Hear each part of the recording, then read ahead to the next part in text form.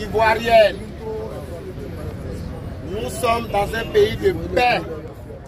La Côte d'Ivoire aujourd'hui, qu'on le veuille ou on ne le veuille pas, est devenu un pays émergent. Alors, un appel aux religieux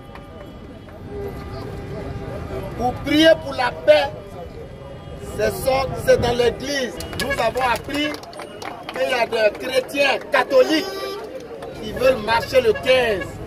Nous disons non. Zéro marche le 15. Mouvement zéro victime dit zéro marche le 15. Sinon le 15, nous allons appeler toute la Côte d'Ivoire pour les rejoindre pour cette marche. Nous avons constaté une année ici, il y a un imam qui a été emprisonné. Les imams, les musulmans n'ont pas marché. Et aujourd'hui, nous ne savons pas pourquoi les chrétiens, les religieux, les catholiques veulent se mêler de la politique. Le procureur Ado Richard recherche-t-il vraiment les auteurs des propos incendiaires face au projet de marche des chrétiens catholiques?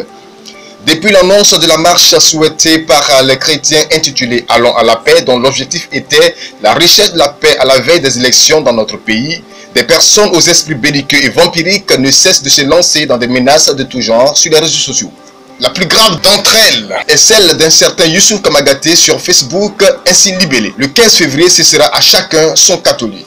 On va verser un peu de leur sang comme leur Jésus là. Le procureur Adou a sans conviction produit un scénario de réaction dans lequel il a invité la population à une collaboration à rechercher ce soi-disant Youssouf Kamagaté. Une moquerie à la conscience intellectuelle de l'Ivoire. Lorsqu'il s'agit d'internautes qui publient contre le pouvoir, nul besoin de collaboration physique.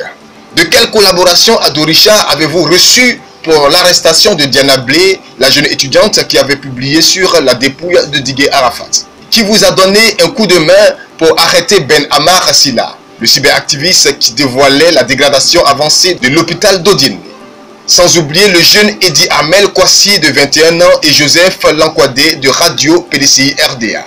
Pour ne citer que cela. Comme il s'agit des défenseurs du pouvoir RHDP, alors la technologie n'est plus fonctionnelle. Dans cette vidéo, on les voit à visage découvert.